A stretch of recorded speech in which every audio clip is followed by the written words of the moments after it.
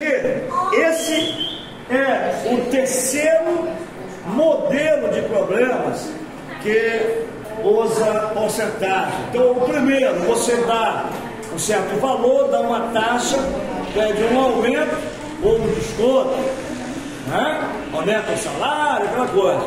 Qual é o segundo ali? Te dá um preço total, um preço de venda, pede a taxa.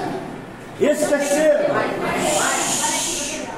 te dá uma taxa. Aqui. Ei, te dá uma taxa, o valor que corresponde a essa taxa e pede o total. Esse aqui ele quer o total. Olha Lucas, comigo. Esse aqui, tu vai fazer assim, ó. Esse é o primeiro. Tá. Você organizar a ideia. Aqui. Ó, você vai botar assim. Você multiplicar do quê? Vai diminuir aqui. Você vai botar assim, ó. Essa. Total. Esse é o total, que é o que ele quer. E aqui, a parte. Ele, rapaz. Parte desse total. Aqui. Rótulos. Aqui. Taxa. Bota logo o percentual, né? Taxa. Ok? Oi. Ele está querendo o total, não é isso? Então, X aqui, esse X corresponde a 100%. E o total de voto dele foi 13 mil e 500, que corresponde a 45%. 45%. Aí você vai armar a proporção. São duas razões proporcionais. Bem outras. Aqui, o total está para 100, assim como a parte está para a parte. Ok? Certo? Também você pode colocar que esse total está para a parte, assim como esse total está para a parte. A parte correspondente. Todo mundo entendeu isso? Sim. Então você resolve assim, ó. Seria parte. Vira, vira, vira. É, aqui não é 45%? 45 não é tudo, né? Tudo é 100%, certo? Então 45 é uma parte do 100%. Esse 45 corresponde a 13.500 votos. Ô, pessoal, o quê? 13.500 votos é uma parte do total, concorda? Certo? Então isso aqui é parte. E eu quero um total de votos. Certo? Vamos ver, vamos calcular primeiro, não chuta não. Você vai fazer assim, ó. X está para 100. Aqui, ó, total está para total. Assim como parte está para parte. Aqui. 13.500 está para 45. Olha o que, que eu fiz aqui. Fiz? X não é o total? Total está para total. Pode fazer assim também, né? Assim como parte está para parte. Ou você pode arrumar uma forma anterior aqui, ó. X está para 13.500, assim como 100 está para 45. Por que, que eu posso fazer isso? Porque eu posso perguntar esse esquema. Assista lá o vídeo que eu tenho gravado de razão e proporção.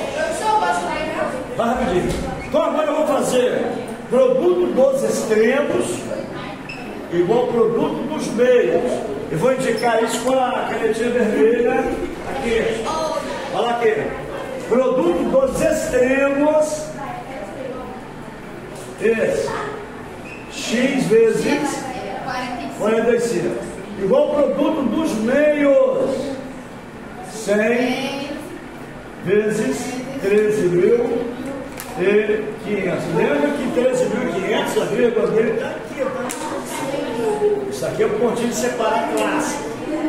Unidade de dezena centena, unidade de milhar, dezena de milhar. Boa, eu vou dividir tudo por 45. Ok? Lucas, divide tudo por 45. Não, mantém, mantém.